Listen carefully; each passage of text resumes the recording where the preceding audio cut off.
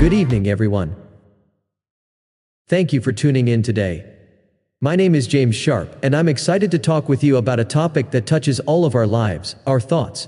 Specifically, we'll dive into positive and negative thoughts, and how we can combat those unhealthy negative thoughts to lead more fulfilling lives. Let's start by understanding what we mean by positive and negative thoughts. Positive thoughts are those that uplift us, inspire us, and help us see the possibilities in life. They are characterized by optimism, hope, and encouragement. On the other hand, negative thoughts are those that bring us down, create doubt, and focus on potential problems. They often stem from fear, anxiety, and pessimism. It's important to recognize that negative thoughts are not inherently bad. In fact, they serve essential functions. From an evolutionary perspective, negative thoughts helped our ancestors stay alert to dangers and survive. They can also prompt critical thinking and problem solving, helping us prepare for challenges and avoid risks. However, when negative thoughts become constant and overwhelming, they can harm our mental and physical health. Chronic negativity can lead to stress, anxiety, depression, and even physical ailments like weakened immune function and cardiovascular issues. So, how do we combat these unhealthy negative thoughts? One powerful technique is the intentional and immediate replacement of negative thoughts with positive ones.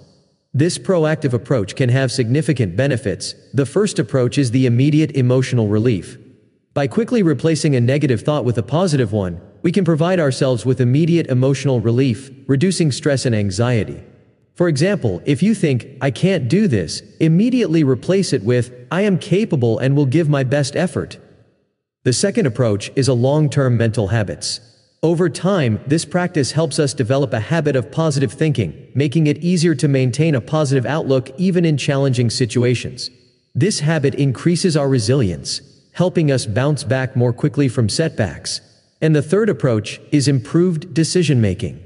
Focusing on positive thoughts reduces the mental clutter caused by negativity, leading to clearer and more effective decision making.